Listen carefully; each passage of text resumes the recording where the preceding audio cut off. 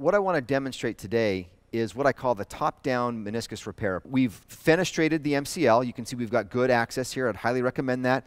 We'll penetrate the meniscus on the free inner edge from top to bottom, skive all the way along to place an initial anchor below the meniscus, and then we'll place a second meniscus anchor up here, and that will give us the compression that we need for these far peripheral undersurface tears.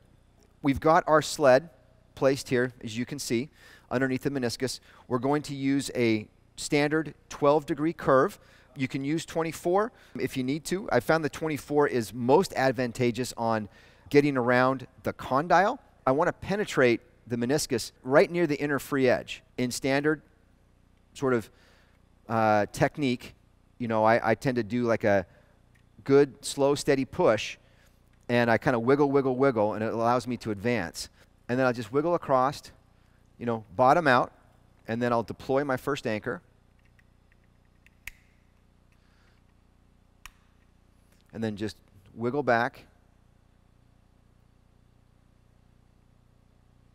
So there you can see the sutures right there. So that's a perfect visualization of what this technique is.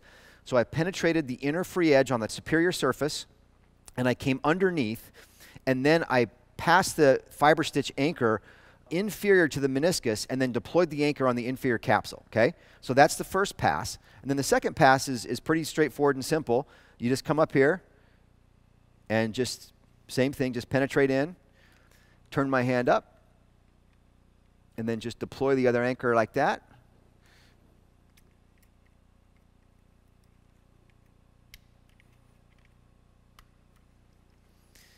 And out I come.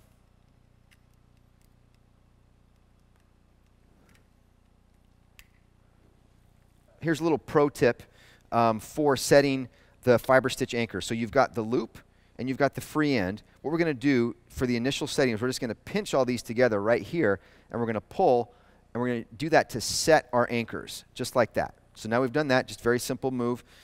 And then we'll tension the first loop. So we'll get that set at the tension that we like.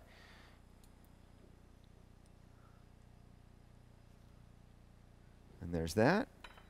Okay, and then we'll cut it just in, again, very standard fashion. Now you can see that suture underneath there, and you can see how it's, it's pierced on the inferior capsule and then right up top here. And that is going to give us a minimum 5 millimeter tissue bridge between the site of, of needle penetration and the tear, which is going to be typically back here in the red red zone. So this has become my standard for these undersurface, incomplete vertical tears of the posterior horn of the medial meniscus.